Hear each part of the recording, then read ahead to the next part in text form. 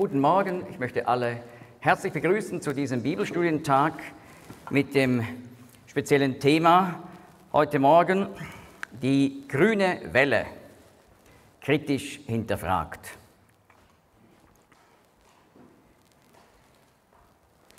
Das Thema ist sehr aktuell und zwar, weil man ja festgestellt hat, dass in jüngerer Vergangenheit die Grünen an so vielen Orten enorme Fortschritte gemacht haben in ihrem Einfluss und es ist so eine richtige grüne Welle entstanden. Und man muss eben diese Welle hinterfragen, kritisch hinterfragen. Kritik hat ja sehr viel zu tun mit der Denkweise der Grünen. Wenn man die Grünen anschaut, so muss man sagen, sie kritisieren alles. Und sie sagen, alles ist relativ, nichts ist absolut und alles muss hinterfragt und kritisiert werden. Aber was nicht so geschätzt wird, ist, wenn man die Dogmen der Grünen kritisiert. Das ist eine Ausnahme. Aber gerade das wollen wir heute machen. Und wenn ich eben von den Grünen spreche und von Grünliberalen, dann spreche ich nicht von den Einzelpersonen. Da gibt es ganz verschiedene Leute, die mit dabei sind, aus ganz unterschiedlichen Gründen. Aber es geht mir ganz speziell um die Welle der Grünen. Es geht mir um die Ideologie der Grünen, die wir kritisch hinterfragen. Es geht also nicht darum, einzelne Menschen anzugreifen und fertig zu machen, sondern es geht darum, eine Ideologie kritisch zu hinterfragen. Frage. Was ist der Unterschied zwischen Melonen und den Grünen? Keiner. Beide sind außen grün und innen rot. Und das ist ganz wichtig. Die Grundlagen der Grünen, die ideologischen Grundlagen der Grünen sind zwei Dinge. Neomarxismus und neuheidnische Naturmystik. Das muss man sich einmal merken. Die Welle der Grünen geht zurück in ihre Ursprünge 1960er Jahre. Das war die Zeit, als immer mehr Menschen in unserer Gesellschaft sich der Problematik der Umweltverschmutzung bewusst wurden. Früher hat man immer gedacht, Wissenschaft und Technik und Fortschritt, das ist alles nur positiv und ein gewaltiger Fortschritt, aber da kamen Zweifel auf. Wenn man an all diese Auswüchse und Nebeneffekte dachte. Umweltverschmutzung wurde immer mehr als ein großes Problem wahrgenommen. Aber ganz wichtig, lange vor Entstehung der Grünen als Partei gab es Gruppen, die sich für Umweltschutz einsetzten. Man kann also nicht sagen, man muss grün sein, um ein Umweltschützer zu sein. Oder die Grünen seien es, die diese Problematik erkannt hätten. Nein, das haben viele andere auch erkannt und sogar noch vor ihnen. Aber es ist so, aus dieser Wahrnehmung der Umweltschutz, Umweltverschmutzungsproblematik und aus dem Anliegen des Umweltschutzes heraus entstand eben die politische Bewegung der Grünen. Und da waren am Anfang viele mit dabei, die hatten wirklich einfach ein Anliegen für die Natur, für die Umwelt und so weiter und für das Wohl der kommenden Generationen. Aber mehr und mehr, ich spreche jetzt nicht nur von der Schweiz, sondern ich spreche auch von Deutschland oder gerade von Deutschland, mehr und mehr wurde diese Bewegung übernommen durch marxistische, neomarxistische und kommunistische Programmmacher. Nun, um für Umweltschutz zu sein, muss man nicht ein Grüner sein, sondern da hätte es auch schon gereicht, wenn man sich mit der Bibel auseinandersetzt. Zum Beispiel in Offenbarung 11, Vers 18. Im Zusammenhang geht es ja um das kommende Gericht Gottes über diese Welt. Da wird ein Grund nebst vielen anderen aufgezählt, warum Gott ein Problem mit uns Menschen hat, mit unserer Welt. Und ein Problem ist, dass Menschen die Erde zerstören. Denn dort, Offenbarung 11, Vers 18 heißt es, und die zu verderben, welche die Erde verderben. Also Gott ist gegen die Zerstörung der Natur. Das lehrt die Bibel. Aber das ist das Buch der Offenbarung rund 2000 Jahre alt. Und da müssen wir, wenn wir über das Thema Bibel und Umweltschutz nachdenken, unbedingt auch 1. Mose 1, 28, also auf der ersten Seite der Bibel, zu Rate ziehen. Gott erschuf die ersten Menschen und da lesen wir, und Gott segnete sie und Gott sprach zu ihnen, seid fruchtbar und mehrt euch und füllt die Erde und macht sie euch untertan und herrscht über die Fische des Meeres und über die Vögel des Himmels und über alle Tiere, die sich auf der Erde regen. Hier finden wir einen Kulturauftrag, den Gott den Menschen gegeben hat. Und zwar beinhaltet das, die Erde untertan zu machen und über die Natur zu herrschen. Also der Mensch wurde eingesetzt wie ein König, um über die Natur zu regieren. Aber ein guter König ist nicht einer, der sein Volk zerstört, sondern einer, der sein Volk pflegt, wie ein Hirte seine Herde pflegt. Ja, darum ist der ideale König in der Bibel zum Beispiel König David, der ein Schafhirte war. Und eben nicht Nimrod, der Gründer von Babylon, der ein Jäger war. Das ist das Ideal des Diktators.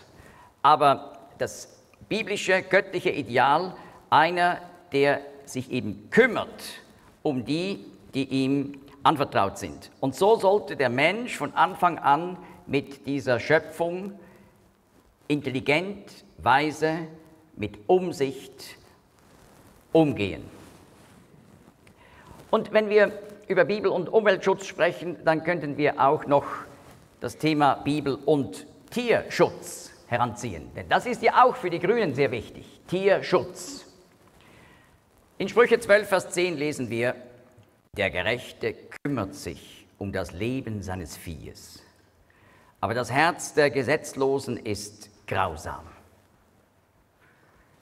Nun, da sehen wir, es ist völlig selbstverständlich, dass der Gottesfürchtige ein Anliegen hat für Tiere und mit Tieren liebevoll umgeht. Wir sind in unserer Kultur das sehr gewöhnt. Ja, wir haben von Kind auf wahrscheinlich gelernt, quäle nie ein Tier zum Scherz, denn es fühlt wie du den Schmerz oder was auch immer. Das ist für uns sehr selbstverständlich, aber in anderen Kulturen kann das ganz anders aussehen. Zum Beispiel ist man erstaunt in Thailand zu sehen, wie Kinder in einer buddhistischen Kultur, in der eigentlich das Thema Leiden sehr wichtig sein müsste, aber mit Tieren so gedankenlos umgehen, damit spielen und ihren Spaß haben und dabei leiden die Tiere. Meine Tochter, die ein Projekt in Thailand hat, ein missionarisches, hat versucht, den Kindern dort beizubringen, was die Bibel lehrt über den Umgang mit Tieren. Und sie hat ihnen eine ganze Reihe von Bibelstellen vorgestellt zu diesem Thema, unter anderem auch Sprüche 12, Vers 10, der Gerechte kümmert sich um das Leben seines Viehes, aber das Herz der Gesetzlosen ist grausam. Ich habe sie danach gefragt, und wie haben sie reagiert? Gar nicht. Sie haben einfach geschwiegen. Das ist so die Art, die man erleben kann, gerade im asiatischen Raum. Wenn man beschämt ist, dann sagt man einfach nichts mehr. Gut, das kennen wir auch. Aber es war jetzt einfach äh, sehr auffällig. Sie sagt Ihnen das, niemand kommt und sagt, oh, das ist also ganz anders, als was wir immer gemacht haben. Nein, einfach schweigen. Aber eben, manchmal braucht es Ruhe, um darüber nachzudenken.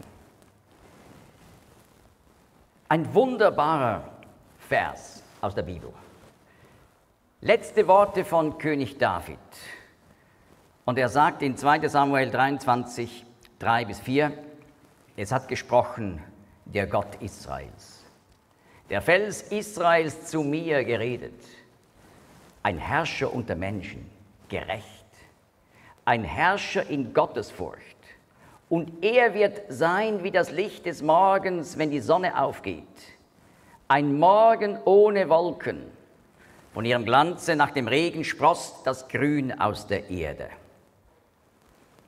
König David spricht über den kommenden Messias, den verheißenen Retter der Welt, der einmal kommen sollte, um alles neu zu machen, Ordnung und Frieden in unser Chaos hineinzubringen. Ich habe das hier dargestellt in einem Zeitschema. Hier symbolisch die Wiederkunft von Jesus Christus, dem Messias, auf dem Ölberg nach Sacharja 14, um dann sein Königreich von Gerechtigkeit und Frieden hier auf der Erde aufzurichten. Nun, wie wird das hier beschrieben, dieses Kommen? Es wird eine Zeit sein, die hier verglichen wird wie ein Sonnenaufgang. Er wird sein wie das Licht des Morgens, wenn die Sonne aufgeht. Über dem Ölberg geht jeden Morgen die Sonne am Morgen auf und bringt das Licht in die Stadt Jerusalem hinein. Und so wird der Messias auf dem Ölberg kommen, hier auf der Erde erscheinen. Seine Füße werden an jedem Tag auf dem Ölberg stehen, sagt Zachariah 14. Und diese Zeit, die dann folgen wird, wird beschrieben als ein Morgen ohne Wolken. Wer das bewusst schon so erlebt hat, am Morgen geht man raus aus dem Haus, öffnet die Türe und der Himmel ist blau. Aber wo man hinschaut, wirklich blau. Kein, keine einzige Wolke. Ein Morgen ohne Wolken. Das ist etwas ganz Besonderes. Und so wird diese kommende Zeit beschrieben. Und weiter, von ihrem Glanz nach dem Regen sproßt das Grün aus der Erde. Eine grüne Zukunft wird kommen. Aber wirklich, nicht nur einfach grün, sondern hier wird gesagt, von ihrem Glanz nach dem Regen. Wer hat das nicht schon erlebt, dass nach einem Regen das Grün der Pflanzenwelt noch grüner erschien als zuvor. Und was ich natürlich noch mehr liebe, ist in den Regenwäldern. Dieses saftige Grün, da kommt selbst unser Grün hier in der Schweiz nicht mehr zum, äh, zum Zug. Zum Beispiel Kolumbien. Es ist ganz ungewöhnlich, dieses, dieses kräftige Grün der Regenwälder, das ist fantastisch. Und hier wird eine Zukunft in der Bibel vorausgesagt, die wirklich grün sein wird.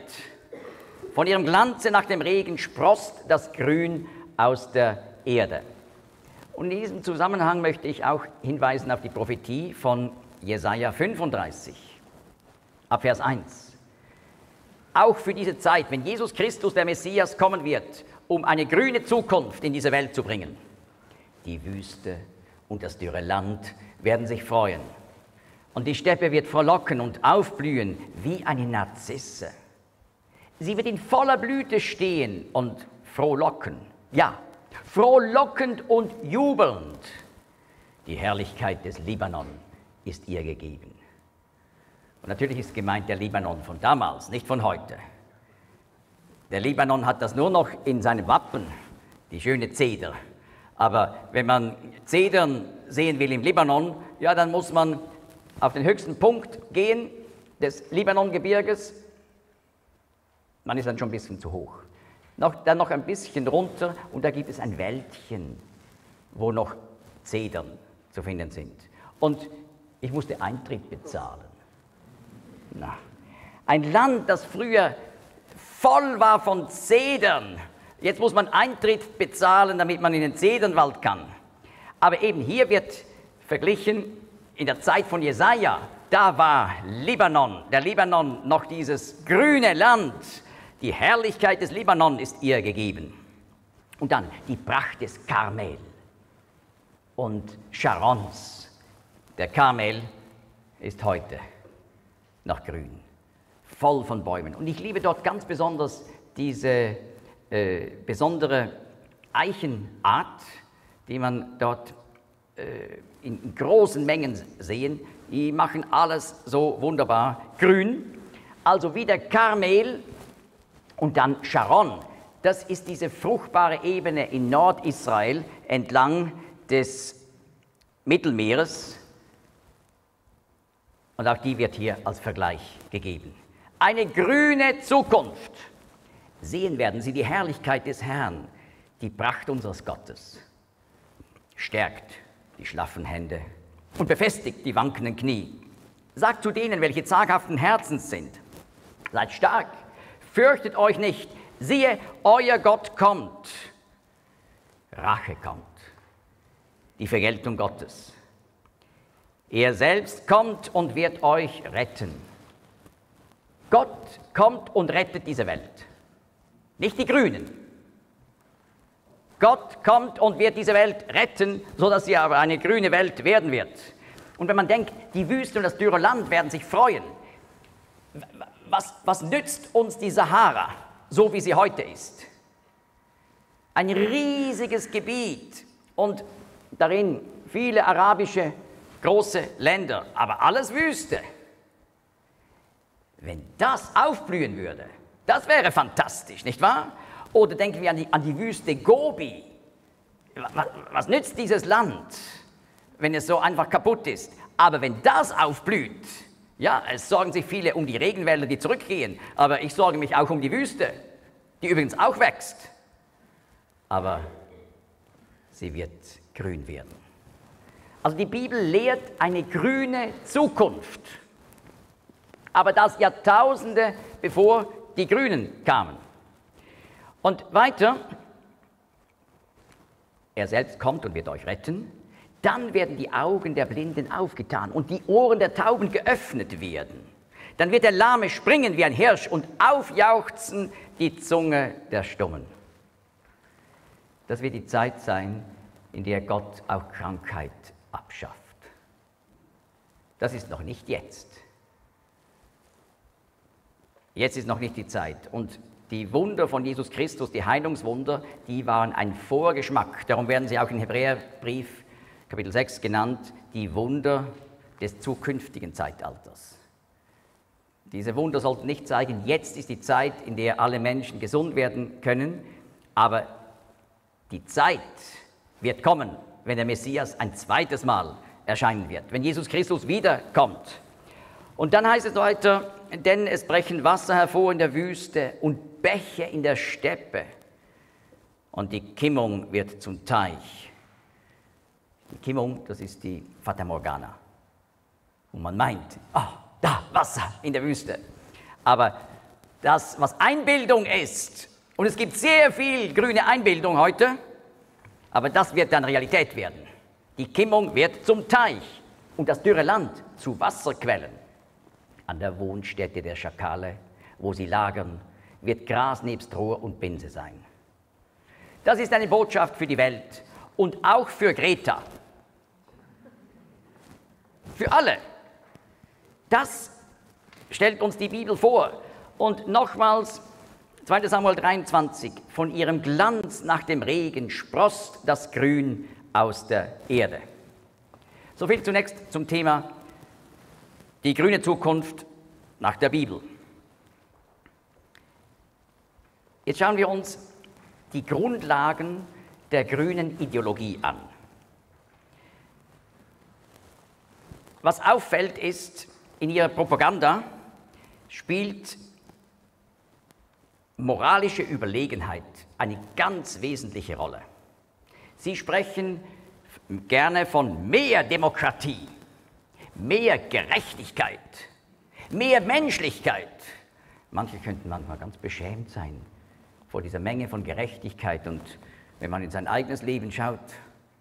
Aber wir betonen mehr Demokratie, mehr Gerechtigkeit, mehr Menschlichkeit. Und es werden Waffen eingesetzt, um ihre politischen Ziele erfolgreich durchzusetzen. Das Thema Umweltschutz das eben nicht von ihnen kreiert wurde, das benutzen sie, um ihre politische Agenda zu fördern. Dann zweitens das Thema Feminismus. Die Frau, die zu ihren Rechten kommen sollte, mehr Gerechtigkeit und mehr Menschlichkeit in unserer Gesellschaft erfahren soll. Also die ganze Ideologie des Feminismus wird eingesetzt als Waffe. Und dann weiter die homosexuellen Bewegung. Das ist auch ein ganz wichtiges Mittel, um ihre Agenda voranzubringen. Und dann ist weiter zu erwähnen, die Friedensbewegung, die auch nicht von ihnen erfunden worden ist, wird auch benutzt, um ihre Agenda voranzubringen. Und ich meine,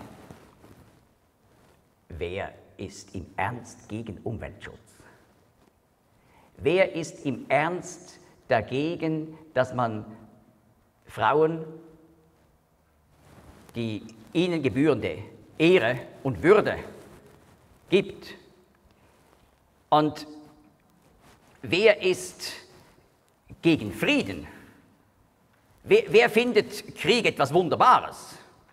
Das sind ja ganz, ganz üble. Aber die meisten würden doch sagen, wir, was wir wollen ist Frieden, natürlich. Aber ein, eine weitere Waffe ist ihre Forderung auf Recht in Bezug auf Abtreibung. Und ich habe Recht natürlich in Anführungsstrichen und Schlussstrichen gesetzt. Wie? Hier merkt man den inneren, totalen Widerspruch, die Unlogik der, der, der ganzen Ideologie.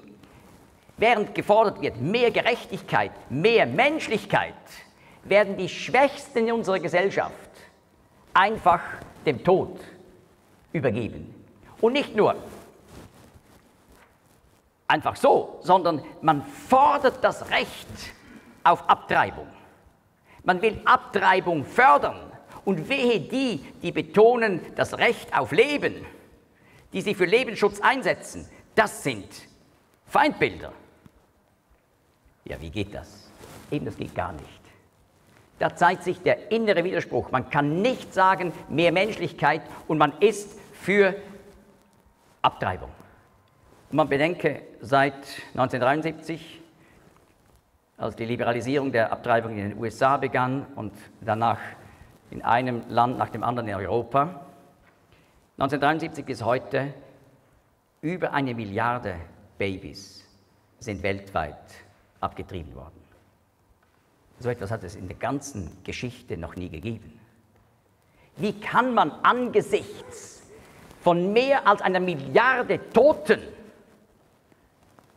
Menschen, die getötet wurden, sprechen von mehr Gerechtigkeit, mehr Menschlichkeit. Das zeigt, es geht nicht um diese Dinge. Da steckt ein ganz anderes Gedankengebäude dahinter. Und das gilt es eben aufzudecken. Und weiter geht es heute mit der Gender-Ideologie.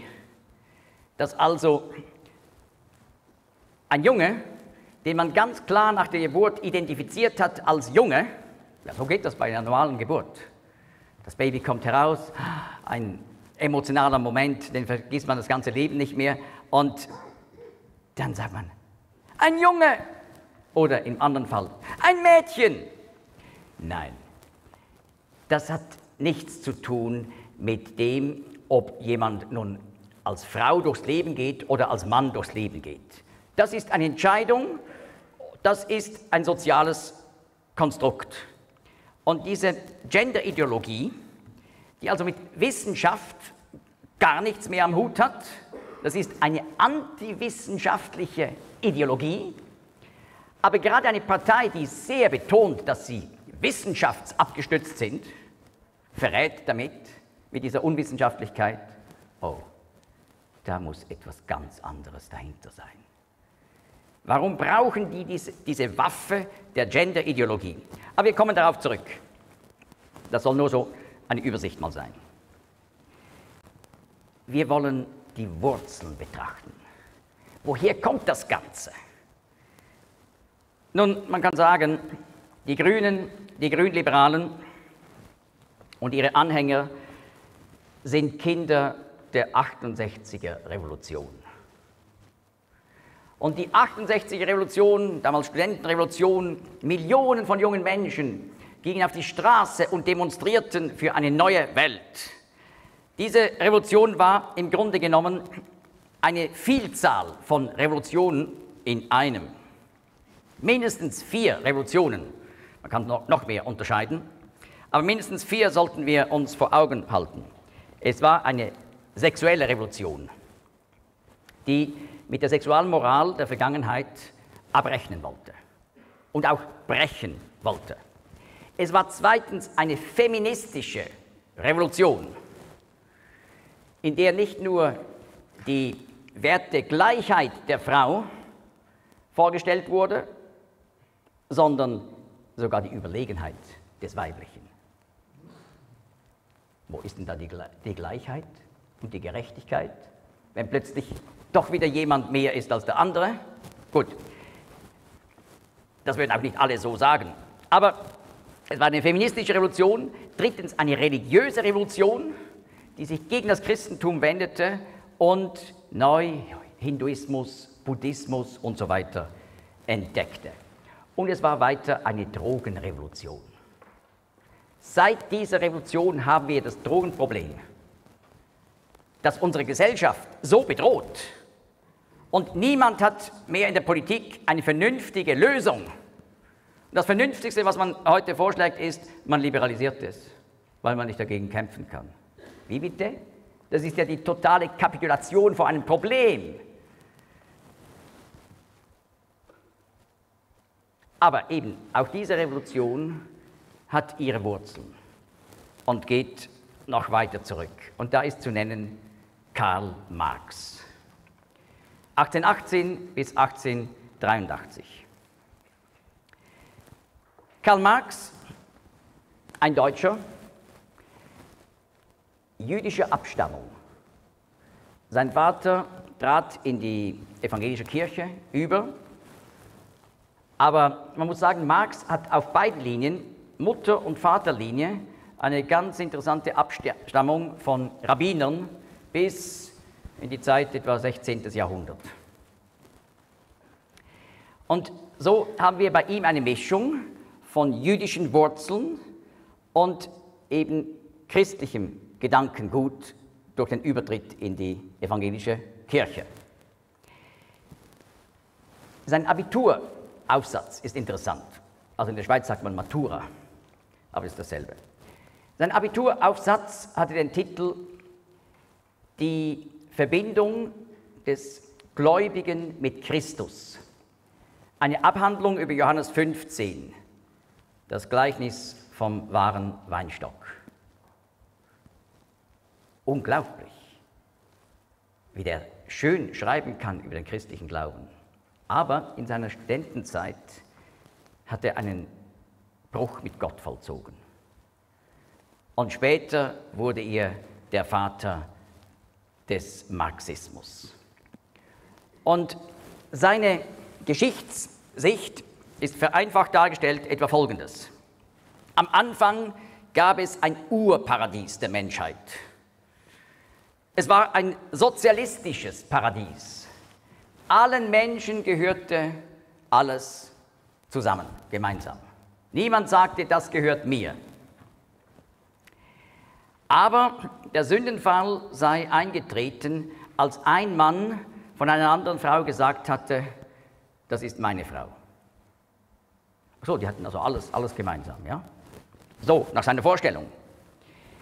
Und das war ein Bruch und dadurch hat der Mann Macht bekommen über die Frau.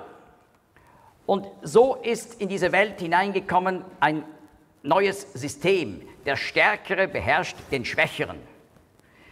Natürlich, die Schwächeren sind dann aufgestanden in einer Revolution, aber die selber sind dann die Starken geworden und die Schwächeren haben sich wieder gegen sie erhoben.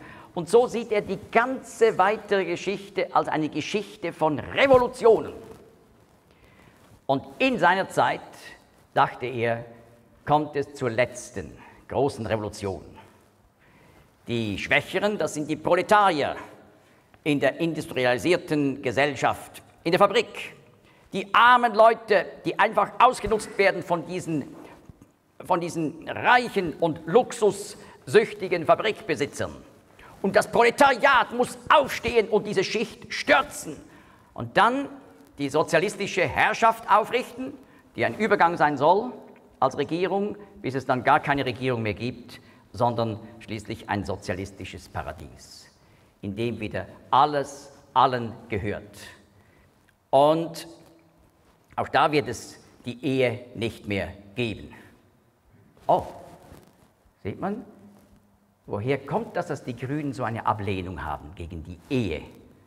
Ich meine, die Ehe von Mann und Frau, nicht die Ehe von Mann und Mann. Da haben sie nichts dagegen. Aber die Ehe von Mann und Frau, ja, das ist schon bei Marx quasi ein, ein schwarzer Tupfer. Er geht davon aus, am Anfang gab es keine Ehe. Das war eben gerade die Folge des sozialistischen Sündenfalls. Aber wenn man sich das so überlegt, dann merkt man, das ist ja erstaunlich, die Parallelen zur Bibel. Die Bibel spricht auch dass die, davon, dass die Menschheit am Anfang ein Paradies kannte und dass es dann zu einem Sündenfall gekommen ist. Aber durch den Bruch der Gebote Gottes und dass dann eben die Welt schwierig wurde mit Leid und Kriegen, jawohl, das lehrt die Bibel auch. Und am Schluss wird es aber einen wunderbaren Endzustand geben, der sogar grün sein wird, wie wir erfahren haben, das tausendjährige Friedensreich des Messias Jesus nach Offenbarung 20 und vielen anderen Stellen. Also unglaublich diese Parallelen. Und jetzt merkt man, woher hat Marx diese Ideen? Die kommen aus der Bibel, aus dem Judentum und aus dem Christentum. Das Alte und Neue Testament lehrt das. Aber er hat sich völlig von Gott abgewandt und hat diese Ideen einfach geraubt und vollkommen pervertiert, verdreht. Ja? Und immer, wenn man biblische Wahrheiten verdreht, dann wird es gefährlich. Das haben wir auch gesehen in 2000 Jahren Kirchengeschichte. Sobald die Bibel verdreht wurde, wurde es schlimm auf Erden. Nun, die Grünen würden abwinken, wenn man von Karl Marx spricht. Warum? Das ist Schnee von gestern. Und trotzdem ist das ihr Vater, ihr Übervater ihr Urvater. Aber einfach ein bisschen verändert. Nicht wahr? Nach dem Ersten Weltkrieg wurde die Frankfurter Schule gegründet. Ein Institut für Sozialforschung, das der Universität von Frankfurt angeschlossen war. Wichtige Leute waren Marx Horkheimer, Theodor Adorno, Erich Fromm, Herbert Marcuse. Und diese Leute haben gesagt, also Marx hat sich schon geirrt. Denn seine Gesichtsschicht Sicht war eigentlich schon in seiner Zeit nicht richtig. Und die Dinge haben sich ganz anders entwickelt. Und als man da gesehen hat, gerade um 1923, oh, was geschieht jetzt in Russland? Der Sozialismus kommt zur Macht, aber was geschieht da? Ein Unrechtssystem wie die Sowjetunion eines war, wurde aufgebaut. Und so sahen sie es auch nicht. Und dann ein paar Jahre später kam der Nationalsozialismus in Deutschland. Und das passte auch nicht in das, das, das hätte auch anders kommen sollen nach dem Geschichtsschema von Karl Marx. Also irgendwie, Marx funktioniert gar nicht. Der, der, ist, der ist so nicht brauchbar. Aber sie sagten sich, wir müssen ihn neu interpretieren. Und zwar müssen wir ihn noch mit der Psychologie von Sigmund Freud vermischen. Und daraus entstand der Neomarxismus. Neo heißt neu, der Neumarxismus. Und das habe ich ja am Anfang gesagt, das ist eine ganz wesentliche Wurzel der Grünen. Zuerst der Marxismus, aber dann eben in seiner Neuinterpretation Neomarxismus.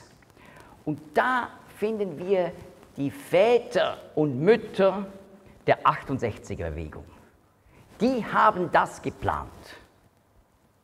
Hier sieht man zum Beispiel Herbert Marcuse, 1898 bis 1979.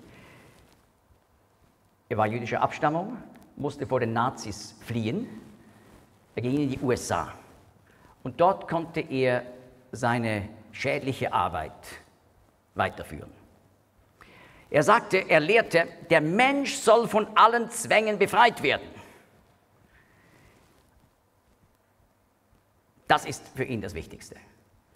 Und zwar geht es ihm nicht um die Fabrikbesitzer und die Proletarier, nein, die Proletarier, die armen Fabrikarbeiter, die gibt es ja auch nicht mehr wirklich. Die Gewerkschaften haben sich eingesetzt, äh, die haben äh, soziale Absicherung bekommen und so weiter. Ja, äh, vielen geht es eigentlich äh, so schlecht auch wieder nicht. Ja? Also diesen Leuten der Frankfurter Schule wurde klar, das sind nicht die Leute, die kann man gar nicht brauchen als Revolutionäre. Die sind schon viel zu verdorben als Revolutionäre, die kann man gar nicht mehr brauchen. Die muss man ganz woanders suchen. Aber eben zum Beispiel die Zwänge, die es gibt in der Familie, dort muss man ansetzen. Und wer ist der Schlimmste? Der Vater, der Mann. Und das gehört zu dem Kennzeichen des 20. Jahrhunderts in unserer westlichen Kultur. Der Mann wird der, als der Böse abgestempelt. Es entwickelt sich eine Art Vaterhass, wie man das aus der Psychologie von Freud ja gut kennt, mit dem Ödipus-Komplex. Das Thema Vaterhass spielt eine ganz wichtige Rolle. Nun, Herbert Marcuse sagte, das Ziel von allem sei, dass am Schluss eine total erotisierte Spaßgesellschaft entstehen würde. So, jetzt verstehen Sie, wenn die Grünen reden von homosexuellen Bewegungen, Genderbewegung und die Kinder sollen bereits ab dem Kindergarten, wenn nicht schon früher, sexualisiert werden. Das sind genau diese Ideen, diese Gedanken. Und aus dieser Sicht wurden dann später in den 60er Jahren folgende Leute gesehen als Revolutionäre. Nicht die Fabrikarbeiter, sondern die Hippies. Und dann auch die Befreiungsbewegungen der dritten Welt und die Feministinnen.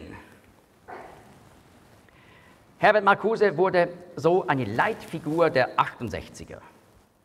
Und bei ihm spielt eine wichtige Rolle der Kinsey Report von 1948 von Alfred Kinsey. Und zwar hat Herbert Marcuse insbesondere die sexuelle Revolution ausgelöst. Und Kinsey hatte einen Report gemacht über Sexualität in der Gesellschaft. Und er sagte, in dieser Gesellschaft tut man so, wie wenn man äh, so sexuell rein leben würde. In Wirklichkeit, die Leute tun alles Mögliche einfach im Versteckten. Und er hat also mit Leuten Interviews gehabt und gezeigt, wie diese Leute pervers denken, welche üblen Fantasien sie auf diesem Gebiet haben. Und dieser Report sollte zeigen, das ist völlig normal, das haben alle. Nur muss geklärt werden, er hat nicht einfach im Allgemeinen übliche Leute aus der Gesellschaft befragt, sondern gerade Leute, die im Knast geendet haben. Also Leute, die die am Rand der Gesellschaft waren und hat deren Erfahrung hingestellt, als wäre das so quasi das Normale in der Gesellschaft. Und das hat einen Dammbruch ausgelöst. Wenn jemand so als Versuchung irgendwelche äh, Fantasien hatte, kann der sagen, ach so, das haben ja alle. Nur tun sie immer so, als würden sie darüber stehen. Aber in Wirklichkeit im Verborgenen wird ja alles Mögliche ausgelebt.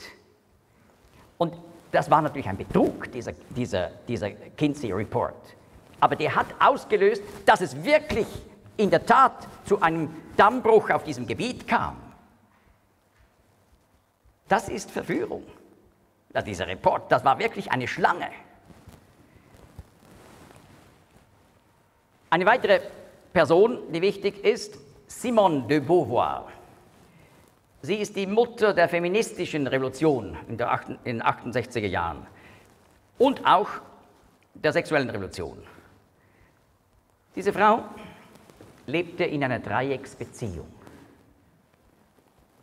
Also da merkt man auch wieder Auflösung von Ehe und Familie. Und einer in diesem Dreieck war der Philosoph Jean-Paul Sartre, den manche vielleicht noch von der Schule her kennen. Äh, er ist bekannt geworden als Philosoph der Sinnlosigkeit. Das Leben ist sinnlos. Ja, aber das zeigt ein bisschen, in welchem Umfeld von Gedanken diese Frau lebte und sich wohlfühlte.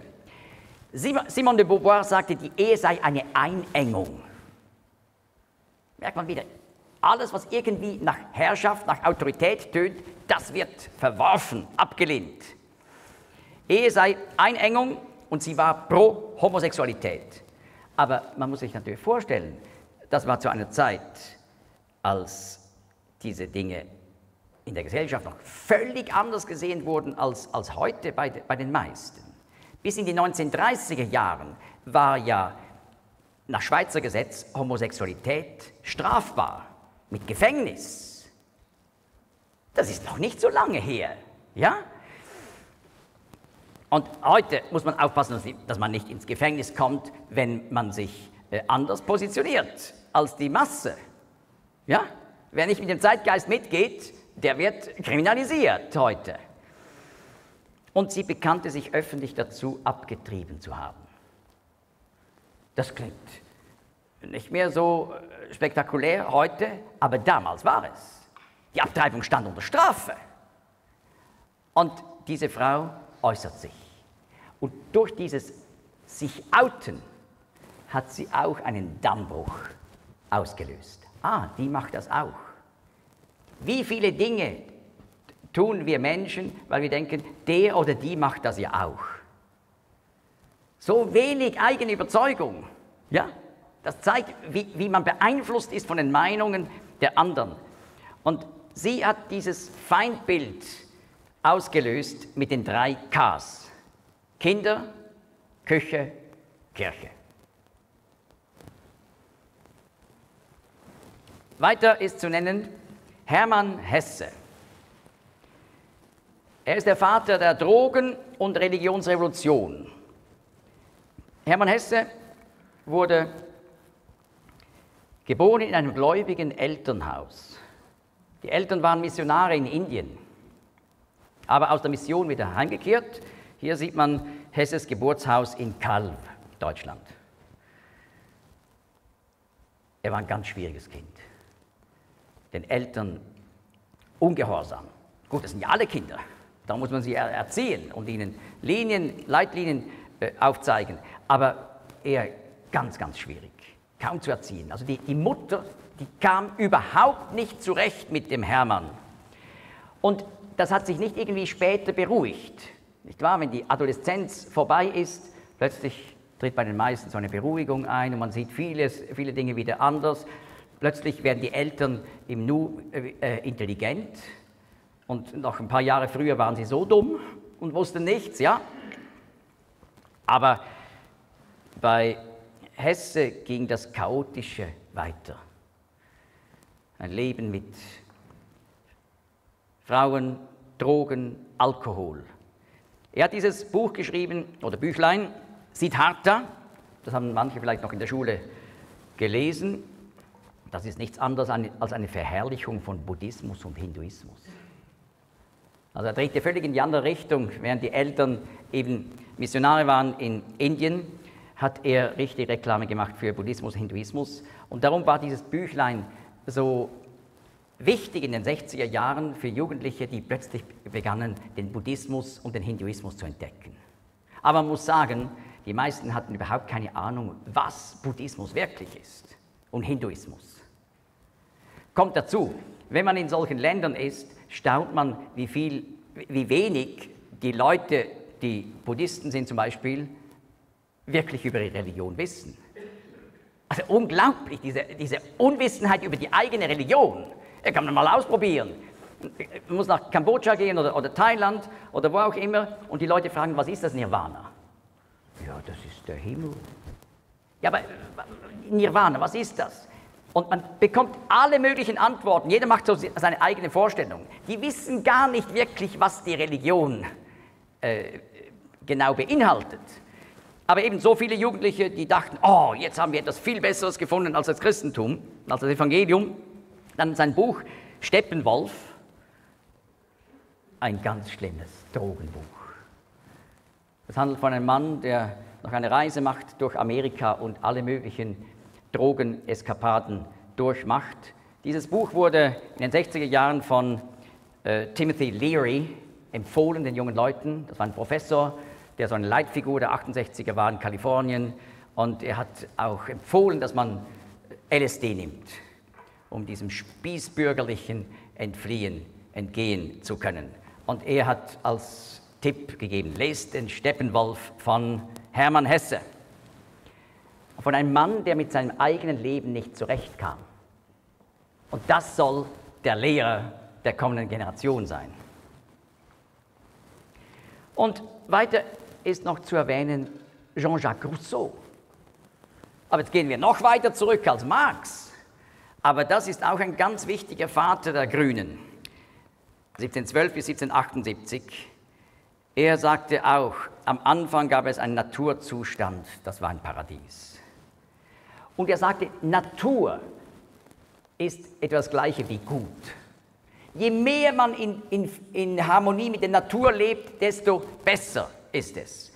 Und darum war für ihn quasi der Wilde, das heißt der Stammes, der Mann aus dem, oder die Frau aus dem, aus dem eingeborenen Stamm, das war das Ideal. Das waren die wirklich fröhlichen, freudigen und lebensbejahenden Menschen. Natürlich kannte er Stammeskulturen nicht wirklich.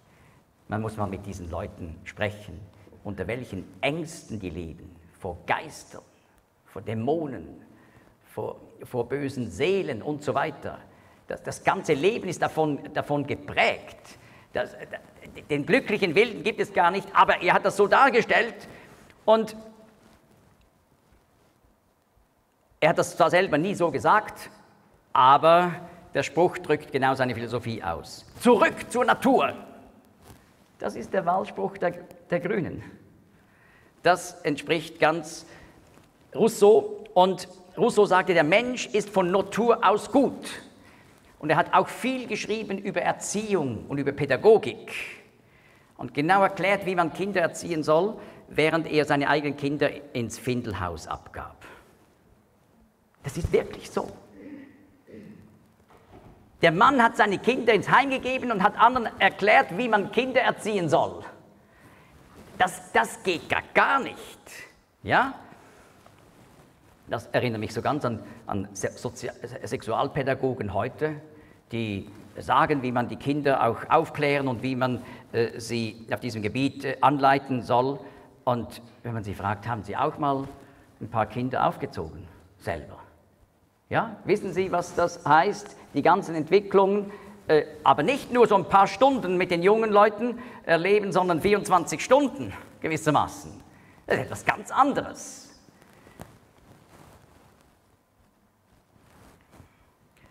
Nun, weiter ist jetzt zu erwähnen, nebst diesen marxistischen, neomarxistischen Wurzeln, als Grundlage der Grünen, die Naturesoterik der Grünen. Viele unter den Grünen sind Esoteriker, die die Erde betrachten als eine Göttin und ihr den alten Namen der alten Griechen wiedergeben, Gaia. Das war die Göttin Erde. Also die Natur wird gesehen als etwas Belebtes, etwas Spirituelles. Und daraus entsteht dann eben diese Naturverehrung. Achtung vor der Natur, um sie nicht zu zerstören, ist etwas anderes als die Natur verehren. Und die Bibel sagt, die Verehrung der Natur ist Götzendienst. In Römer 1, Vers 25 lesen wir, von den Menschen, welche die Wahrheit Gottes in die Lüge verwandelt und dem Geschöpf mehr Verehrung und Dienst dargebracht haben als dem Schöpfer, welcher gepriesen ist in Ewigkeit. Amen. Die grünen Ideologie spricht nur von der Natur, aber nicht von dem, von dem, der die Natur gemacht hat. Sie sprechen gewissermaßen von der Schöpfung, aber nicht vom Schöpfer. Und diese Abkopplung erklärt, warum man dann eben beginnt, die Schöpfung zu verehren anstatt den Schöpfer und das ist Götzendienst. Und diese ganze Naturmystik ist natürlich etwas völlig widerwissenschaftliches. Wenn man einen Stein als etwas Lebendiges sieht, wir sagen also aus wissenschaftlicher Sicht ist der Stein wirklich tot. Und übrigens auch aus, aus gesundem Menschenverstand, muss man gar nicht wissenschaftlich sein, ist er tot. Und das ist nicht Leben. Aber wenn in allem Kräfte und, und Le äh, Leben zugeschrieben wird, dann ist das eben völlig unwissenschaftlich. Ich betone das, weil diese Partei so betont, dass sie sehr wissenschaftlich sei und viel wissenschaftlicher als eben die, die ihre Ideologie nicht teilen. Nachdem wir das Problem der Naturverehrung betrachtet haben, was nach der Bibel Götzendienst ist. Übrigens auch dann, wenn ein Biologielehrer sagt, schaut mal diese Blumen an und schaut mal diese Funktion hier dieser äh, Kelchblätter, wie die Natur das alles wunderbar ausgestattet hat. Wie? Die Natur hat das ausgestattet. Die Natur kann überhaupt nicht denken. Die Natur kann nichts planen. Die Natur kann nichts, kann kein Design entwickeln. Das ist nicht in der Natur drin enthalten. Und da wird der Natur das zugeschrieben durch einen Lehrer, was nur Gott kann. Und das ist ganz konkret Götzendienst. Wenn man die, die Herrlichkeit, Weisheit und Einsicht des Schöpfers der Natur zuschreibt, anstatt dem Schöpfer. Und darum ist natürlich die Evolutionslehre eine ganz wesentliche Basis überhaupt dieser Ideologie, die letztlich die Natur zu einer Göttin, die Erde zu einer Göttin macht, die Natur zu Göttern macht.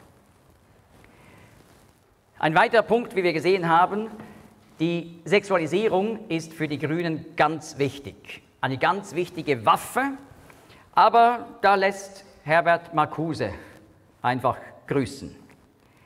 Das ist alles Ideologie, um eben Pläne mit unserer Gesellschaft durchzuführen, die nicht zum Guten sind von uns, aber die den Absichten der Programmmacher entspricht. Und das Ziel der Grünen ist die Auflösung der biblischen Sexualmoral, Auflösung von Familie und Ehe. Sie kämpfen gegen das, was sich als gut bewährt hat, wenn man es nach der Anweisung, nach der Gebrauchsanweisung des Schöpfers auslebt. Natürlich kann eine Ehe etwas ganz Schlimmes sein, aber das ist nicht das Problem der Ehe, sondern es ist das Problem, dass man die Gebrauchsanweisung nicht gelesen und befolgt hat. Wenn man einen Mikrowellenapparat kauft, muss man sich daran halten und kann nicht sagen, der gehört mir, ich mache, was ich will und ich trockne meinen Chihuahua darin. Das kommt nicht gut heraus. Und das ist entgegen der Gebrauchsanleitung. Und so ist es auch, wenn man die Ehe eben missbraucht und nicht so auslebt, wie der Schöpfer es in seinem Wort beschrieben hat, ja, dann kommt es nicht gut raus. Aber wenn man die Grundsätze der Bibel beachtet, dann gibt es glückliche Ehen, fröhliche Familien und stabile Familien und Kinder, die sich wirklich eben umgeben und gesichert mit Rückendeckung so unterstützt wissen und unterstützt fühlen und sich gesund normal entwickeln können. Nun, in 1. Mose 1, Vers 27 im Schöpfungsbericht lesen wir, und Gott schuf den Menschen in seinem Bild, im Bild Gottes schuf er ihn. Mann und Frau schuf er sie. Ganz wörtlich steht im Hebräischen hier nicht Ish und Isha, Mann und Frau, sondern Zachar und Nekeva. Und das heißt männlich und weiblich. Das betont noch mehr das biologische Geschlecht. Gott hat den Menschen am Anfang erschaffen und zwar in dieser zweipolaren Beziehung Mann, der männlich ist biologisch und Frau, die weiblich ist biologisch. Und das wollen die Grünen auflösen in dem Gender-Wahn, der heute der ganzen Welt aufgedrückt wird. Und da arbeitet die UNO mit, die EU und so weiter und die lokalen Regierungen machen hier mit. Und dabei ist es so etwas Verrücktes. Ja, man sagt, nein, das Geschlecht, das ist sozial bedingt. Eben, man gibt dem Jungen Autos zum Spielen und dann wird er halt eben so ein Macho. Und eben, man gibt dem Mädchen äh, Puppen und dann wird sie eben so weiblich. Ja, aber das ist eine Verachtung des Weiblichen. Was ich jetzt gemacht habe, das geht gar, gar nicht. Das ist ja gerade nicht die Achtung der Frau und der Weiblichkeit. Und andererseits, wenn man den, den Mann einfach sieht als diesen Muskelprotz mit, mit äh, engem T-Shirt und äh, kurzen Ärmeln oder gar keinen Ärmeln, um die Muskeln zu zeigen, ja, der Mann umfasst mehr als das. Und es ist eine Verachtung dessen, was eigentlich wahre Männlichkeit ist. Nun, im Genderwahn wird gesagt, ein Junge muss sich selber entscheiden, ob er später ein, eine Frau oder ein, ein Mann sein will. Das soziale Geschlecht, wofür er sich entscheidet, muss nicht mit dem biologischen Geschlecht übereinstimmen. Wieso? Wieso nicht? Ja, es gibt Leute, die sagen wirklich, ich bin zwar biologisch ein Mann, aber ich fühle mich als Frau. Und das müsste man respektieren und achten. Und das zeigt, dass es eine viel größere Vielfalt an, an Geschlechtern gibt, als man bisher gemeint hat. Bisher gemeint hat. Ja, die ganze Menschheitsgeschichte hat das anders gesehen. Das ist eine, ein unglaublicher Hochmut. Wenn man jetzt behauptet, 2019 mit dieser Gender-Ideologie haben wir die Wahrheit entdeckt und alle Völker, die ganze Menschheit, die überzeugt war, das ist anders, die hat sich geirrt. Das ist unglaublich. Und die, die heute dagegen sprechen, die müssen nur darauf warten, bis sie mundtot gemacht werden. Das hat ja mit Demokratie gar, gar nichts zu tun. Wenn die Grünen sagen, mehr Demokratie, wo ist das? Da müsste man Freiheit haben, um gegen diese Dinge aufzutreten, ohne dass man am Schluss noch in den Knast kommt. Aber eben das Argument, es gibt Leute, die empfinden anders. Und das zeigt, dass da eine größere äh, Bandbreite in der Realität vorhanden ist. Ja gut, es gibt auch Leute, die fühlen sich als Tiere. Ja, das ist eine bekannte, bekannte Krankheit, in der Psychiatrie, Boanthropie, da ist einer, der ist überzeugt, er ist ein Vogel. Und darum will er auch auf dem Baum übernachten. Und es gibt es auch, äh, was eigentlich das Wort Boanthropie bedeutet. Boa, äh, Bo heißt eigentlich äh, Ochse, also ein Mensch, der sich als, als Ochse fühlt und der macht dann ständig ja, er macht diese Tierlaute, weil er, er fühlt sich als, als Kuh. Und wir haben ein Beispiel von Boanthropie in der Bibel, Daniel 4. Nebukadnezar wurde wahnsinnig und hat dann wirklich sieben Jahre lang gelebt wie ein Tier und hat auch Gras gefressen. Nachher wurde er wieder gesund. Der Verstand kam zurück. Nur, ich will sagen, da kann also einer sagen, ich fühle mich eben in meinem menschlichen Körper nicht als Mensch, sondern ich fühle mich als Vogel. Na gut, dann müssen wir das Ganze noch mehr erweitern. Nicht nur diese äh, verschiedenen sozialen Geschlechter, sondern müssen wir auch einführen, dass man im Pass äh, einschreiben kann, Ochse oder Vogel. Ja, Und jetzt merkt man, wohin man kommt, wenn man äh, Gefühle von Minderheiten nimmt, ohne zu klären, woher kommt das eigentlich? Was sind die Faktoren? Wie hat das Familienleben ausgesehen? Die Erziehung und so weiter. Warum diese Verunsicherung? Wenn man die Biografien dann anschaut, dann versteht man schon. Aber eben, das wird außer Acht gelassen. Ja gut, dann müsste man das aber auch so ausweiten, dass man eben äh, Boanthropie eben auch als berechtigte äh, Variante mit einschließt. Und ich habe jetzt nur ein Beispiel gegeben, es gibt noch ein paar weitere Beispiele in der Psychiatrie, die sich dazu eignen würden.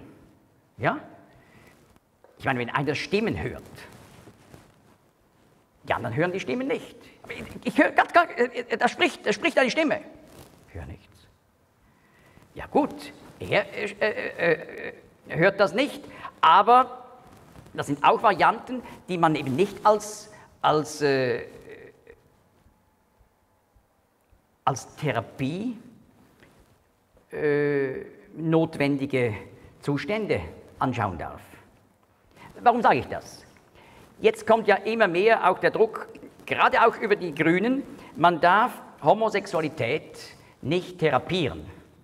Also wenn jemand, der diese Neigung bei sich feststellt, sich sagt, nein, ich möchte nicht so leben, dann kann er sich doch selber entscheiden. Nein, er darf sich nicht selber entscheiden, man muss das verbieten. Das ist heute in der Politik äh, wirklich vorangetrieben. Man darf ihn nicht therapieren, er darf das nicht ändern. Oh, das ist aber Freiheit. Mehr Demokratie, mehr Menschlichkeit. Ja, und ach so, gut, dann könnte man sagen, aber wenn jemand Stimmen hört, dann darf man das auch nicht therapieren. Das ist einfach eine Variante, die man so stehen lassen muss. Ja? Und wenn eben einer sich als Vogel fühlt, dann darf man ihn auch nicht therapieren. Ja, man könnte ihn vielleicht schon noch am Schluss dazu bringen, dass er überzeugt wieder ein fröhlicher Mensch wird. Also wird, er ist es immer noch, aber dass er sich auch wieder als Mensch fühlt. Ja, da hat niemand etwas dagegen, nicht wahr? Und da sieht man wieder die Unlogik in der ganzen Argumentation. Es geht nicht um die Wahrheit, sondern es geht um ganz bestimmte ideologische, politische Ziele, die man verfolgt. Aber das Ganze ist eben dramatisch, weil es letztlich eine Auflehnung ist gegen Gott selbst. Ich war, es ist ein Bruch aller zehn Gebote, was wir hier gesehen haben. Das erste Gebot sagt, keine anderen Götter. Und das zweite, keine Verehrung von Materie, von einem Bild zum Beispiel. Ja, aber genau das finden wir in der Ideologie der Grünen. Die Natur wird vergöttert und die Materie wird vergöttert, aber der wahre, ewige Gott wird völlig ausgeklammert. Und dadurch wird auch das dritte Gebot gebrochen, den Namen Gottes nicht entehren. Aber genau das wird getan. Sobald man Gott hier in dieses ganze Thema hineinbringt, muss man mal ausprobieren, in einer öffentlichen politischen Diskussion mit den Grünen, dann wird man erleben, dass der Name Gottes entehrt wird. Und das vierte Gebot, der Schabbat, das Gott vorschreibt, dass ein Tag eine besondere Bedeutung hat, im Neuen Testament der Tag des Herrn, das ist alles auch in der Politik der Grünen ohne Bedeutung. Auch das soll abgeschafft werden. Ehre Vater und Mutter. Ja. Indem man so gegen die Familie kämpft und gegen die Ehe, bricht man dieses Gebot. Indem man einführt älter 1 und älter 2, das ist genau der Bruch dieses Gebots. Hier steht nicht Ehre älter 1 und älter 2, äh, beziehungsweise älter 2 und älter 1. Wer ist jetzt älter 1? Die biologisch Frau oder ja, merkt man, das Ganze ist so unlogisch. Die wollen alles auf die gleiche Ebene tun. Es gibt nichts, einer, der über dem anderen steht, ja? Aber Älter 1 und Älter 2 ist ja bereits eine Hierarchie. Älter 1 hat den Vorrang und dann kommt noch Älter 2. Also wer ist Älter 1 und wer Älter 2? Nein, aber es steht Ehre Vater und das ist das Männliche, das auch biologisch Männliche und Mutter und das ist auch das biologisch Weibliche in der Führung der Familie. Und dann das sechste Gebot, du sollst nicht töten. Ja, und was ist mit, mit der Abtreibung? Da haben wir ein echtes Problem mit dem sechsten Gebot. Nicht nur ein echtes Problem, ein, ein furchtbares Problem. Und weiter, du sollst nicht Ehe brechen. Aber die Grünen fordern die völlige Auflösung der Sexualmoral.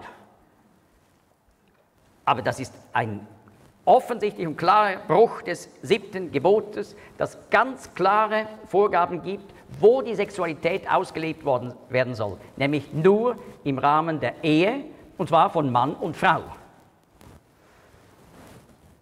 Und zwar von biologisch Mann und biologisch Frau. Du sollst nicht stehlen. Ja, die ganze Idee des Marxismus dahinter ist eigentlich ein Angriff auf das Privateigentum. Ich war schon, die, Al die alten Sozialisten haben gesagt, Eigentum ist Diebstahl. Das ist eine ungehörige Aussage. Die Bibel schützt aber im Kontrast dazu das Privateigentum. Gott will Privateigentum. Und darum sagt die Bibel, du sollst nicht stehlen. Natürlich, die Bibel kritisiert und mit welcher Stärke? Geldliebe, Geldgier und äh, äh, eben auch die, die Nichtbereitschaft zu teilen und so weiter. Das wird in der Bibel verurteilt. Aber Gott schützt auf der anderen Seite, dass wir ein privates Eigentum haben, wo wir darüber verfügen und nicht der andere. Aber gerade in diesen linken Ideologien, dazu gehört eben auch die Ideologie der Grünen, da will man den Besitz umverteilen. Man will das, was gewissen Leuten gehört, nehmen und es anders verteilen.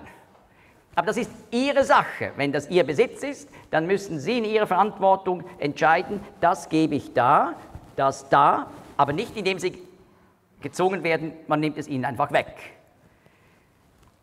Und da hat der Marxismus und der Neomarxismus ein Riesenproblem mit dem achten Gebot. Aber auch du sollst nicht falsches Zeugnis reden. Wir kommen gleich auf das Thema nach Klimawandel. All diese Dinge, die einfach verbreitet worden sind, ohne dass es die, der Wahrheit entspricht, das ist ein Bruch mit dem neunten Gebot. Und dann das zehnte Gebot, du sollst nicht begehren, das hängt zusammen mit dem achten Gebot nicht nur nicht wegnehmen, sondern auch nicht das, was die Reichen haben, für sich begehren.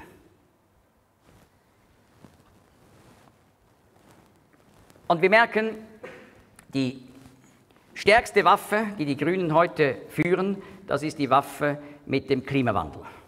Ich habe verschiedene Waffen aufgezählt, aber das, was eben diesen jüngsten Riesenerfolg der Grünen und wohl auch baldigen nächsten Erfolg der Grünen erklärt, das ist die Sache mit dem Klimawandel. Die Behauptung, der Mensch sei schuld, dass das Klima sich wandelt und die Erde immer wärmer wird im Durchschnitt und das alles zu einer Katastrophe führe. Der Mensch sei, sei schuld mit der Produktion von CO2 oder dem Ausstoß von CO2. Und jetzt gilt es, die Welt zu retten. Und zwar, indem die Leute bezahlen. Oh, das erinnert an, den, an das Mittelalter. Da hat man auch bezahlt für die Rettung. Das waren Ablassbriefe. Und heute sind es CO2-Zertifikate. Das ist wirklich die Kopie des Ablasshandels im Mittelalter, aber einfach jetzt säkularisiert. Für die moderne Welt gemacht, um die Welt zu retten. Und wehe, wer jetzt nicht mitmacht, der verhindert, dass die Welt gerettet werden kann. Nun, Klimawandel. Ich stelle mir vor, ich werde jetzt interviewt. Erste Frage, leugnen Sie den Klimawandel? Nein, ich leugne nicht den Klimawandel. Ich glaube an den Klimawandel. Das Klima hat sich nämlich durch die ganze Geschichte der Erde hindurch gewandelt. Immer. Es hat nie das Klima gegeben, sondern es hat immer Klimawandel gegeben. Also ich leugne, ich leugne nicht Klimawandel, sondern ich bin überzeugt, dass es immer Klimawandel gegeben hat. Und so hatten wir auch eben in den vergangenen 2000 Jahren in Europa Zeiten, wo es viel kühler geworden war. Es gab Zeiten, wo es viel wärmer war, nicht wahr? Wo man noch Bilder sieht von Alpübergängen, schneefrei, wo heute immer Schnee ist. Ja, also Klimawandel hat es immer gegeben. Ich leugne keinen Klimawandel. Die Frage war jetzt nicht so ganz glücklich von dem Journalisten. Leugnen Sie den Klimawandel? Müsste, müsste mich doch besser treffen. Glauben Sie, dass der menschengemachte CO2-Ausstoß schuld ist an dem Klimawandel? Nein, das glaube ich nicht. Und zwar, weil die ganze Sache viel komplizierter ist. Das hat ja mit Wissenschaft nichts zu tun. Wenn man etwas, das so komplex ist wie Klima, auf einen Faktor zurückverfolgen will, ja, da gibt es ja zum Beispiel auch den CO2-Ausstoß der Vulkane. Und der ist gigantisch. Ja gut, jetzt müsste man alle, äh, alle äh, Vulkane mal ein äh, bisschen verstopfen und stoppen. Ja, das geht nicht. Darum wird auch nicht davon gesprochen. Aber es wird fokussiert auf, auf CO2 des Menschen. Und das ist ein Riesenfehler.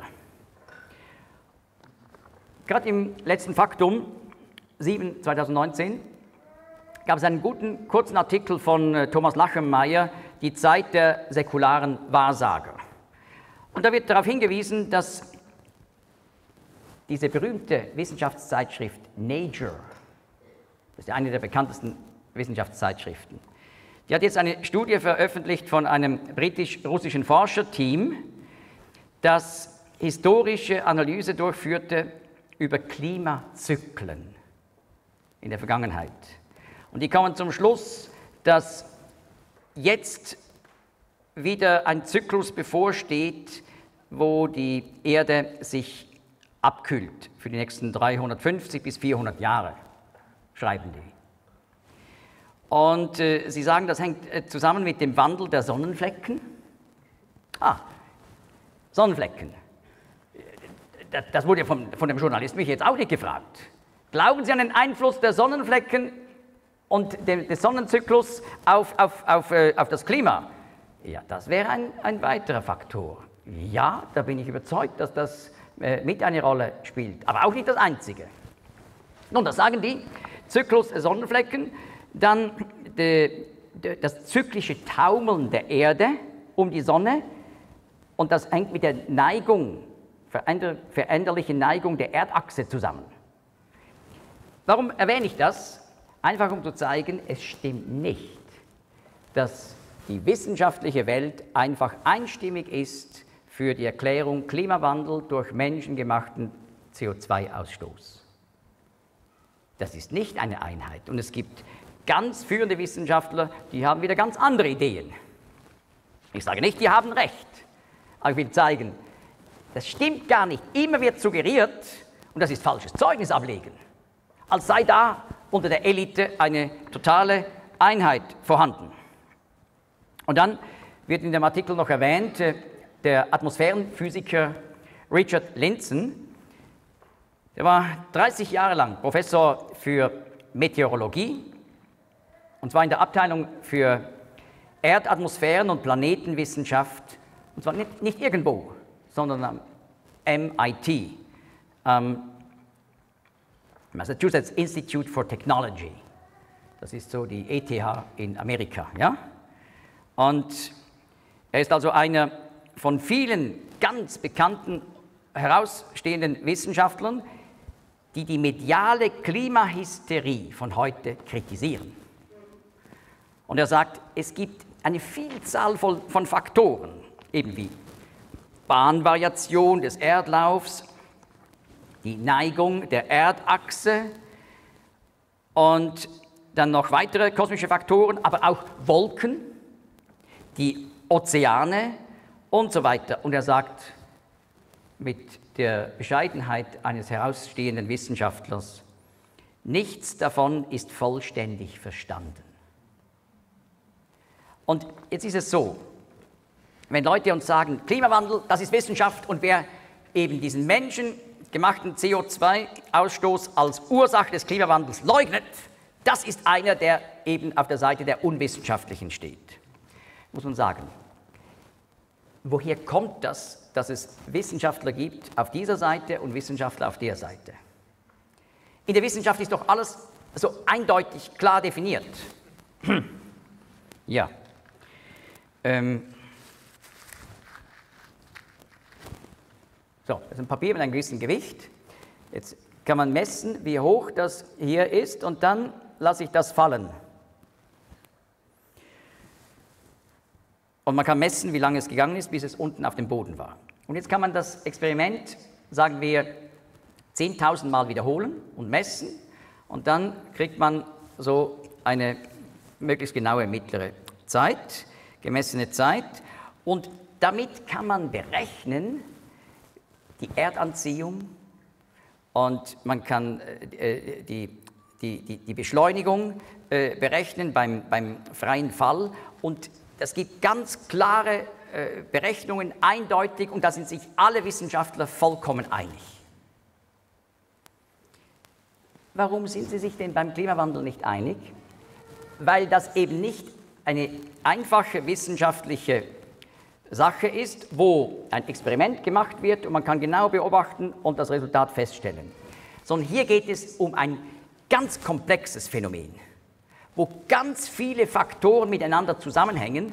Und dann ist es in der Wissenschaft üblicherweise so, dass man nicht mehr sagen kann, und jetzt ist bewiesen das, sondern dann beginnt es, dass es notwendig wird zu interpretieren.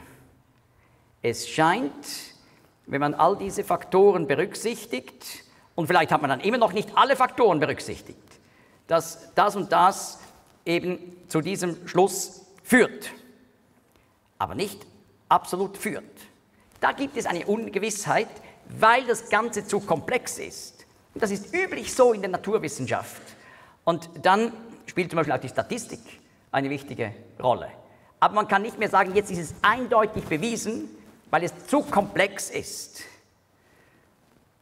Und das wird hier nicht verstanden. Aber gerade das haben wir hier. Das Klima ist dermaßen komplex. Und wie dieser führende Wissenschaftler sagt, dieser Professor Lenzen, viele Dinge sind gar noch nicht verstanden. Und darum ist, da soll man bescheiden, äh, bescheiden sein und sagen, es ist nicht bewiesen.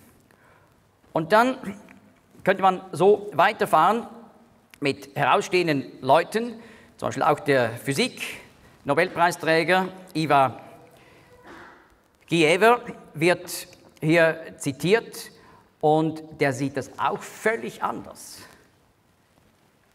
Aber Nobelpreisträger, wirklich einer der ganz führenden Naturwissenschaftler, der das anders sieht.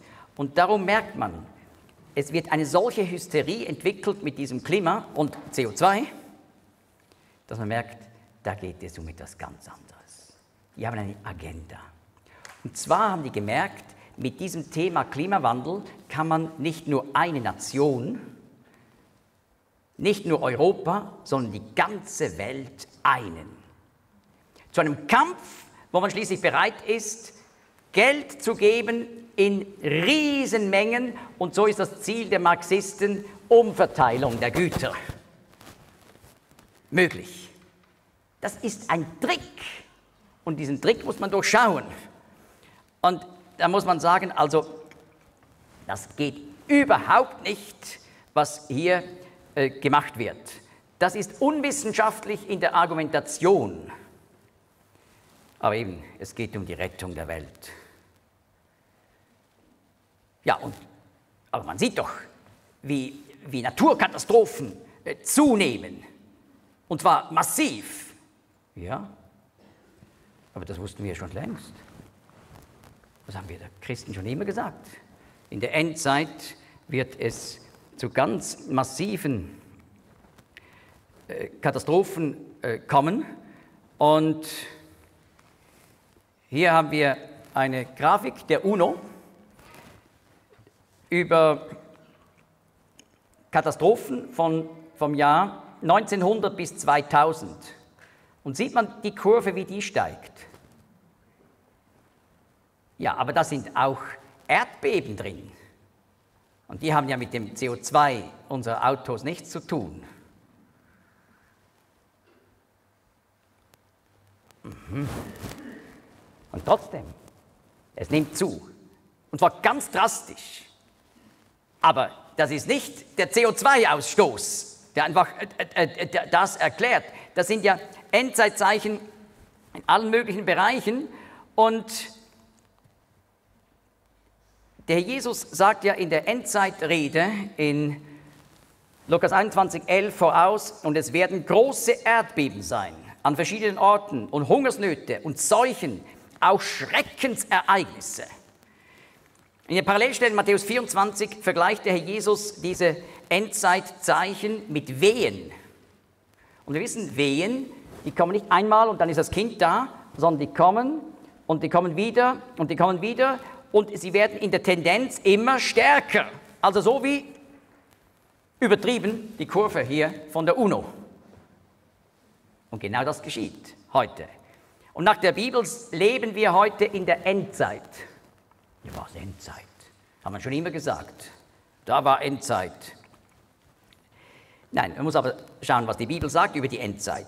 Die Endzeit ist die Zeit, in, die, in der das jüdische Volk aus der ganzen Welt heimkehrt ins Land der Vorfahren und den Staat wieder gründet. Das ist erst in unserer Zeit geschehen. 1948 wurde der Staat Israel nach fast 2000 Jahren Unterbruch wieder gegründet und Millionen von Juden sind aus aller Welt heimgekehrt. Und in dieser Zeit sollte die Wüste wieder aufblühen. Und auch das geschieht in Israel heute. Und es ist so, in der Endzeitrede des Herrn Jesus über diese Katastrophen, da erwähnt er mehr als 20 Endzeitzeichen. Und die können wir heute als erfüllt vorstellen. Auf meinem Livestream kann man das nachhören. Ein Vortrag, den ich gehalten habe zu dem Thema. Und das zeigt, natürlich leben wir in einer Zeit, wo man aufwachen sollte und sich überlegen soll, was, was bedeutet das, diese Zunahme? Aber das geht weit über das mit dem Klima hinaus. Und übrigens, Erwärmung. Offenbarung 16, aber das ist noch zukünftig. Ich war Die Offenbarung behandelt auch die Endzeit, in der wir schon leben, aber den letzten Abschnitt davon. Also insbesondere die sieben letzten Jahre, bevor Jesus Christus dann wiederkommt und dann die grüne Zukunft. Und diese sieben letzten Jahre, die sind noch zukünftig und die werden in der Offenbarung beschrieben. Aber ich lese aus Offenbarung 16, Vers 8. Und der vierte Engel goss seine Schale aus auf die Sonne. Und es wurde ihr gegeben, die Menschen mit Feuer zu versengen. Und die Menschen wurden von großer Hitze versenkt und lästerten den Namen Gottes, der über diese Plagen Gewalt hat, und taten nicht Buße, ihm Ehre zu geben. Ja, wenn das nicht Klimawandel ist, ja? Aber nicht wegen CO2, sondern durch diese Katastrophen und diese Zunahme von Katastrophen in der Zeit, in der das jüdische Volk heimkehrt. Und das war früher nie der Fall. Wenn Leute gesagt haben, im Jahr 1000, jetzt ist Endzeit, das war einfach, weil es das Jahr 1000 war. Und die Bibel von einem tausendjährigen Friedensreich spricht. Aber das tausendjährige Friedensbereich ist in der Bibel erst, wenn Jesus Christus wiederkommt. Das war also nicht von seinem ersten Kommen bis zum Jahr 1000. Also das ist ja wirklich oberschwach, ja? Aber ich habe ein Buch geschrieben, leben wir wirklich in der Endzeit, 180 erfüllte Prophezeiungen. Und da zeige ich, wie 180 Prophezeiungen aus der Bibel über die Endzeit in unserer Zeit bereits erfüllt sind. Ja, und jetzt geht es wirklich um die Rettung unseres Planeten. Aber nicht wegen CO2 des Menschen, sondern es geht um viel mehr. Und darum, es ist so tragisch, die ganze grüne Welle lenkt den Blick der Menschen in die falsche Richtung. Sie meinen, sie können sich selber retten mit Geld. Das war die Meinung der katholischen Kirche. Mit Geld kann man retten. Aber das wurde durch die Reformatoren als Irrtum entlarvt, indem sie gezeigt haben, die Bibel zeigt, der Mensch kann durch eigene Werke sich nicht retten. Er braucht Jesus Christus als den Retter. Und so können wir diese Welt nicht retten. Aber die grüne Welle wendet den Blick ab auf diese Natur und auf uns, die wir die Natur retten könnten. Anstatt dass unser Blick gerichtet wird auf den Schöpfer der Natur, mit dem wir Frieden brauchen. Dort liegt das Problem. Wir brauchen Frieden mit Gott. Und wie ist das möglich? Das möchte ich zum Schluss zeigen. In sechs Punkten. Wir müssen zuerst realisieren, dass Gott wirklich existiert, der Schöpfer. Die Natur, die kann nichts schaffen. Die ist da, aber sie kann nichts schaffen. Aber die Bibel beginnt mit, im Anfang schuf Gott den Himmel und die Erde. Und dieser Gott, der die Natur und all diese Ordnung in der Natur gemacht hat, dieser Gott ist da. Und all die Wunder der Natur, die durch Zufall gar nicht entstehen können, die machen klar, Gott existiert. Aber zweitens müssen wir uns im Klaren sein, dieser Gott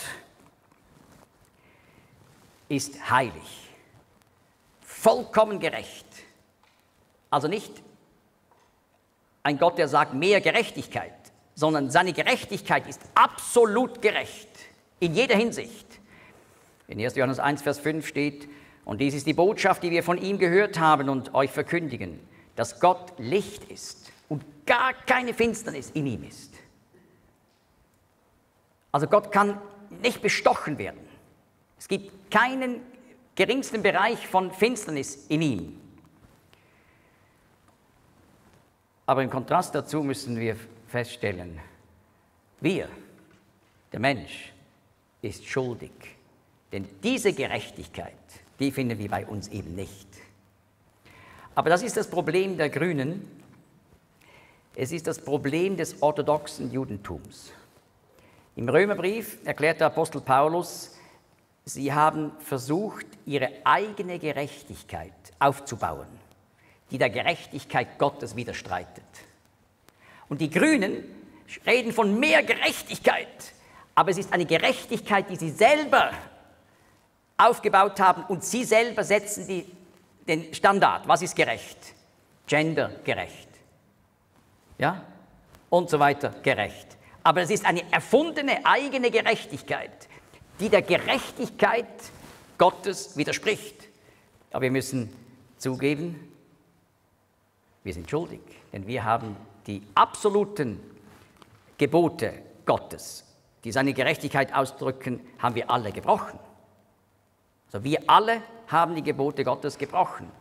Römer 3,23 sagt, denn es ist kein Unterschied unter der gesamten Menschheit.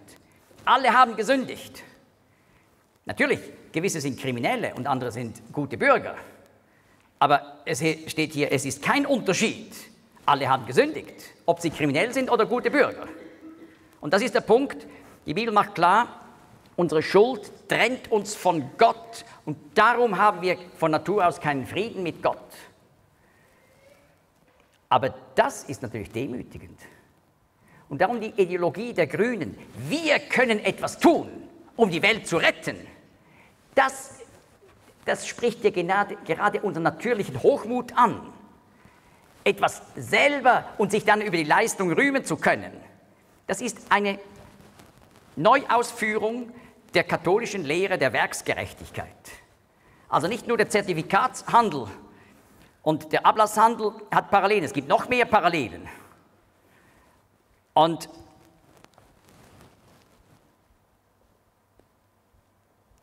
genauso wie man wegkommen musste in der Reformation von dieser Meinung, man könne sich selber retten und sogar noch mit Geld, müssen wir heute von dem wegkommen. Wir sind schuldig. Aber was können wir tun? Die Frage ist problematisch. Wir müssen feststellen, in Römer 3:23 heißt es weiter, alle Menschen haben gesündigt und erreichen nicht die Herrlichkeit Gottes. Wir können uns bemühen, wie wir wollen, da spenden, dort etwas Gutes machen, dieser alten Frau über die Straße helfen, ist alles gut. Also wenn die Sache wirklich gut ist mit dem Spenden, die unterstützt wird, okay. Aber das rettet uns nicht. Das bringt uns Gott nicht näher, kein Millimeter. Also wir erreichen Gottes Herrlichkeit nicht durch eigene Leistung und auch nicht durch Klimahysterie und durch das Ausgeben von Milliarden, die eigentlich am Schluss zerstörtes Geld sind. Aber wir brauchen Hilfe, und zwar von oben. Weil wir nicht zu Gott kommen konnten, kam Gott zu uns. Jesus Christus wurde Mensch. Er sagte, ich bin der Weg, ich bin der Weg, die Wahrheit und das Leben. Niemand kommt zum Vater als nur durch mich. Er war bereit, unsere fremde Schuld, für ihn fremde Schuld, auf sich zu nehmen und am Kreuz sich bestrafen zu lassen, damit wir diese Strafe nicht in Ewigkeit tragen müssten. Und nun der sechste Punkt. Ich muss mich bekehren. Das lehrt die Bibel. Hesekiel 33, 11. Kehret um, sagt Gott. Kehret um, kehret um von euren bösen Wegen. So eindringlich werden wir von Gott aufgerufen, unsere persönliche Schuld im Gebet Gott aufzudecken, schonungslos. Was wir noch wissen. Vor kurzem hat mir eine Frau gesagt, Sie hat eine Liste gemacht auf ein Papier, es wurde ziemlich lang, und da hat sie alles aufgelistet, was ihr in den Sinn kam in ihrem vergangenen Leben. Ich weiß nicht, ob ich das, das richtig gemacht habe. Ich sagte, wieso, wieso nicht richtig? Das, das war ganz gut. Nicht wahr? Ich sage nicht, das muss man so machen. Aber das, das war eine, eine wirkliche Hilfe und die hat wirklich das, was sie da aufgeschrieben hat, hat sie so vor Gott gebracht und um Vergebung gebetet und auch geglaubt, dass Jesus Christus die ewige Strafe getragen hat am Kreuz. Und dann hat sie Sicherheit des Heils bekommen. Also, das ist dieser sechste Punkt. Und diese ganze Klimahysterie lenkt den Blick der Masse in die falsche Richtung und damit sie eben nicht sehen, das Wichtigste ist Frieden mit Gott. Und Apostel Paulus schreibt dann in Römer 5, Vers 1, da wir nun gerechtfertigt worden sind durch Glauben, haben wir Frieden mit Gott durch unseren Herrn Jesus Christus. Also Frieden mit diesem Gott, der auch das Problem der Katastrophen, die in der Endzeit zunehmen müssen, und zwar aus ganz verschiedenen Gründen, nicht nur aus einem Grund, aus ganz verschiedenen Gründen, dieser Gott der uns durch diese Zeichen aufwecken will, diesem Gott müssen wir uns anvertrauen. Und nur er kann unseren Planeten retten. Und es wird eine grüne Zukunft geben. Aber nur für die, die sich dem Friedensfürsten, Jesus Christus, unterstellen. Die werden sehen, wie die Wüste aufblüht und dieses Grün wie das Grün nach dem Regen ein Morgen ohne Wolken.